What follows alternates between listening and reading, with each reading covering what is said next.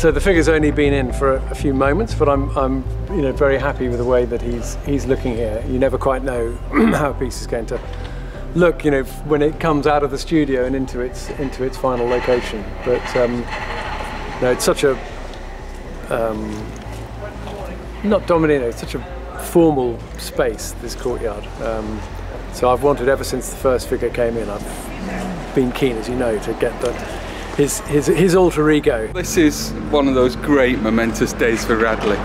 Sean has been so kind to invite Radleyans to his workshop, to his home, to his studio.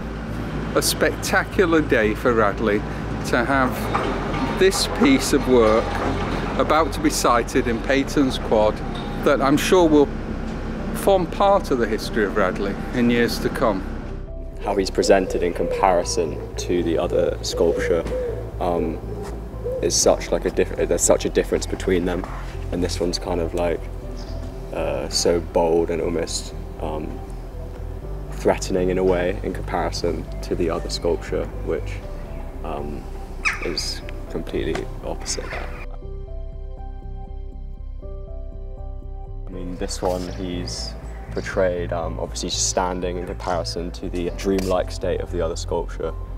And um, obviously that sculpture has the colours on it, uh, much lighter and brighter colours in comparison to this one's kind of dark uh, donkey jacket.